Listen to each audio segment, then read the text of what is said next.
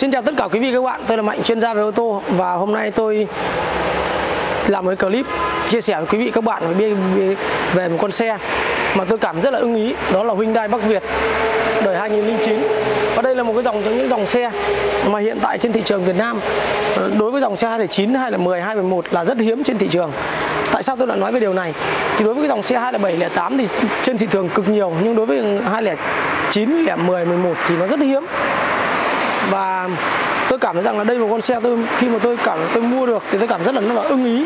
Vì là nó được tổng thành là, thứ nhất là được cả về tổng thành thân vỏ xe, được tổng thành cả về thùng bệ, được tổng thành cả về nội thất và được tổng thành cả về lốp dép và cả khám. Cái thứ hai nữa, nó nó được thêm một cái ưu điểm nữa, đó là nó là biển Hà Nội. Thì chúng ta sẽ cùng nhau đi lướt qua về những cái chi tiết mà tôi nói với quý vị các bạn thì chia sẻ với quý vị các bạn điều này là đối với cái dòng xe Bắc Việt này nếu tìm được một con xe mà hiếm vì nó là xe tải nó không như dòng xe con cho nên được luôn luôn được luân chuyển và luôn được mang vác hàng hóa cho nên là nếu kiếm được một con xe tải mà như ý là rất hiếm thì đây là một con xe tôi cảm thấy ưng ý và tôi vừa mua được đêm hôm qua cho nhưng mà tôi thấy cảm thấy rằng nó rất, nó rất là đẹp và nó cảm thấy rằng nó đáng để cho quý vị các bạn tham khảo và để cho đáng để cho quý vị các bạn có thể là dựa vào đó mà nhận biết được những dòng xe thật đẹp là như thế nào. Thì cũng rất nhiều những clip tôi đã làm về những dòng xe này. Nhưng mà có những con xe đó nó nó vẫn có những cái phần nào đó nó khiếm khuyết. Nhưng mà như con xe này thì tôi cảm thấy rằng là nó hoàn toàn không có khiếm khuyết gì cả. Thì để chia sẻ với quý vị các bạn thì chúng ta sẽ cùng đi vào chi tiết từng phần một. Thì đối với phần cabin này, quý vị các bạn biết là cái phần cabin của con xe này nó rất là đẹp. Và nó hoàn toàn sơn, nó còn gần như là zin nó chỉ là bắn tỉa thôi. Thì đối với dòng xe 209 thì nó khác đối với dòng xe 207 08 hoặc là nó khác với dòng kia. Thì cái thùng thường đối với 209 lẻ 10 11 thì thùng thì người ta thường người ta sẽ ưu tiên về đóng về cái thùng nó từ dưới lên như này chứ nó không hoàn toàn không có thành ba vách ở đây lên. Đấy. Thì đây là một con xe thùng nó nó đóng được đóng bằng nhà máy và toàn bộ bằng inox bên ngoài. Cho nên nhìn rất là trắng trẻo và nhìn rất là đẹp đẽ. Thì nó là như vậy. Thì đây, đây quý vị các bạn nhìn thấy này. Đây là thùng tôi mở ra thì nó được đóng rất là đẹp và nó được trang trí cũng khá là là tốt. Thì đối với cái dòng xe này thì chúng ta nhìn được biết là nó được đóng như thế này thì nó bảo vệ được thêm cả cái phần đèn bên dưới này. Cho nên cái đèn này rất là hiếm khi nó vỡ. Nhưng mà nếu mà để những những cái dòng xe ví dụ đèn đít nó không có cái phần chỉ che bịt này chúng ta lùi thì hay vỡ mất hai cái phần đèn, đèn đít này. Đó. Thì đây là toàn bộ và cái tổng thành một cái thùng của nó thì nó được ốp tôn và lót rất là kỹ từ trên xuống. Đó là như vậy. Bên cạnh nữa thì đối với dòng xe này thì chúng ta biết được rằng là cái lốp nó được treo luôn ở đây. Nó khác với dòng Kia được treo ở bên sườn. Đấy. Thì dàn lốp của con xe này nó gần như nó, nó rất là mới. Con xe này được cả một tổng thành cả một dàn lốp gần như mới. Đây là bốn cả lốp sau. Và thường thì đối với cái dòng xe này thì sắt xi thùng bệ của nó, thường thì nó sẽ được được người ta sơn lại. Hoặc là chạy nhiều thì người ta sơn lại. Nhưng đối với con này thì thùng bệ, sắt xi nó được hoàn toàn chưa một giọt sơn nào cả. Và nó được rất là cứng xe. Tôi gọi nó rất là cứng xe, kể cả từ những cái bầu gió của nó. Đây là một xe hoàn toàn chưa rửa gì cả. Thì nhìn nó nó nó đã bắt mắt như thế này rồi. Đó. Thì đây là hệ thống số này. Đấy, hệ thống máy gầm nó rất là khô ráo từ trên xuống. Và hoàn toàn không có một chút nào gọi là có dầu mỡ dò dỉ ra. Đấy. thì nó là như vậy. Đây là toàn bộ phần gầm của nó đây. Phần cầu số đây lốp đây. Toàn bộ cả một dàn vệt bảo hành hết. Cả một dàn lốp gần như mới. Đó là chi tiết như vậy. Và bên cạnh nữa thì toàn bộ phần cam, cabin của nó. Đó, thì nó được sơn gần như là zin. Đó, tổng thành đầu đèn. Lốp trước, cả hai quả lốp đều được cả thì được một dàn lốp gần như mới. Đó. Thì toàn bộ hệ thống đèn này là vẫn còn zin bản từ những cái phần tem răng tất cả những cái phần vành tai đèn này nó không có một chút nào gọi là bắn tỉa sơn lại gì cả. Đó. Thì chúng ta nhìn nó như vậy thì cảm nhận đây là một con xe rất là đẹp. Đấy, nhìn từ cả, từ những cái hệ thống gạt mưa phun mưa của nó hoàn toàn ta cảm tôi cảm thấy rất là yên tâm. Bên cạnh nữa thì chúng ta sẽ xem là phần nội thất của nó. Thì đây là một con xe nội thất nó khá đẹp đây là con xe nội thất nó nó, nó khá đẹp. Từ những phần keo chỉ cánh zin và nội thất toàn bộ tắp lô tắp ly của nó. Đó. Thì nó rất là zin. Từ bên AB cả hai bên nó đều là đẹp cả. Đây là hệ thống phần trần. Thì con xe chưa đánh rửa như thế nữa vậy nhưng chúng ta nhìn như vậy. Để chú. nó đấy một hệ thống thông gió sang hai bên để điều hòa cho nó mát. Thì là như vậy, hệ thống ghế rất là căng và đẹp.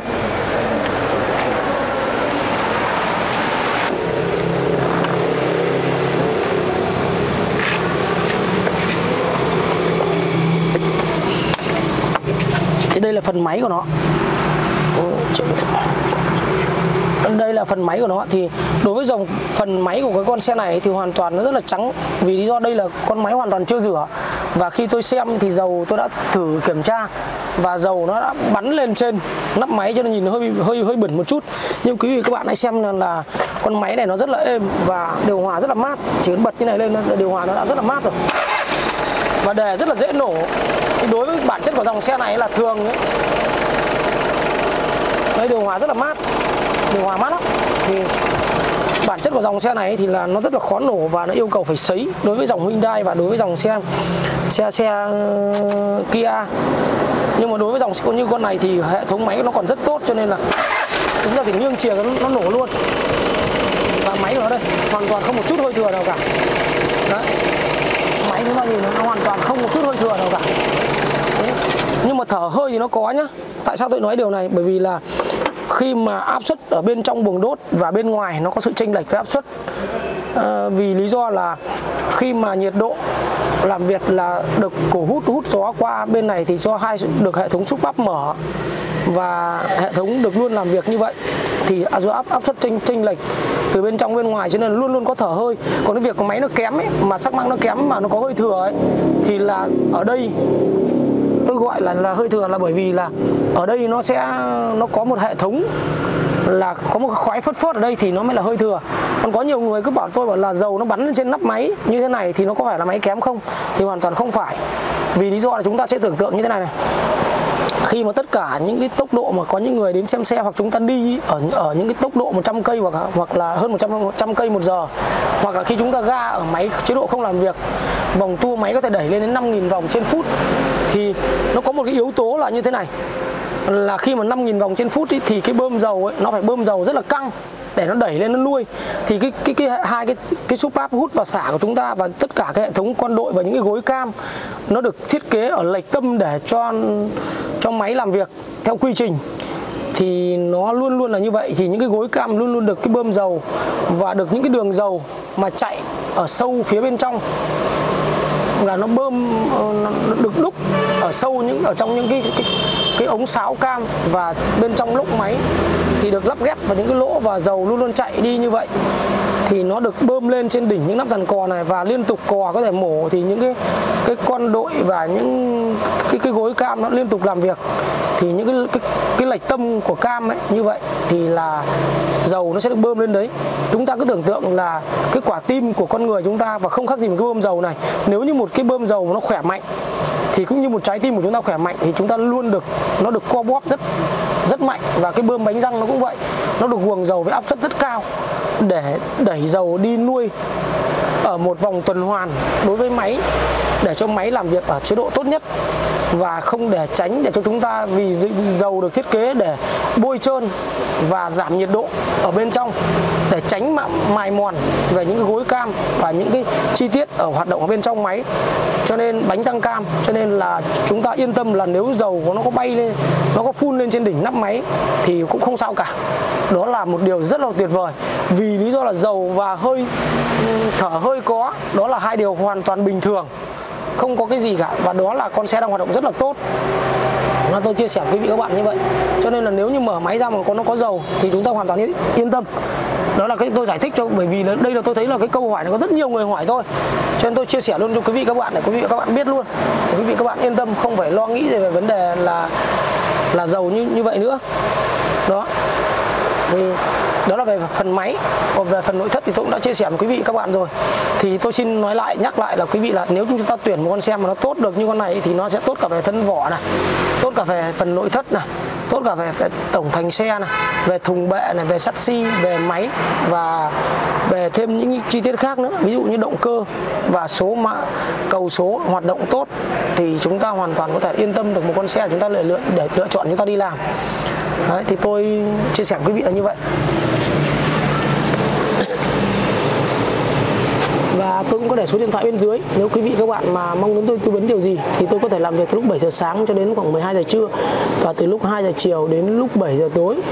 Thì quý vị các bạn là tôi sẽ tư vấn cho quý vị các bạn hoàn toàn miễn phí. Đó tôi và tôi cũng vừa rồi thì tôi ở tôi có hai trang web, đó là ô tô lên mạnh và ô tô lên mạnh.com thì quý vị các bạn có thể vào đó và tham khảo giá tôi để xe trên đó. Và đặc biệt là quý vị nếu như để lại email và một vài những đường link, thì tôi sẽ có những cái những cái cái video đặc biệt dành cho quý vị các bạn, bởi vì tôi là người luôn luôn học hỏi và luôn luôn được để update những kiến thức mới và luôn luôn tìm tòi và học hỏi những kiến thức mới hơn của ô tô để về để chia sẻ cho quý vị các bạn. Cho nên là quý vị các bạn hãy là đăng ký kênh và chia sẻ cho mọi người cùng xem để chúng ta được xem những video có hữu ích nhất. Và như vậy đó là cái video tôi chia sẻ cho quý vị các bạn biết cái cách để lựa chọn cái dòng xe mà như ý mình nhất. Cảm ơn quý vị và chúc quý vị các bạn một ngày cuối tuần thật là vui vẻ, hạnh phúc. Xin chào và hẹn gặp lại những video tiếp theo.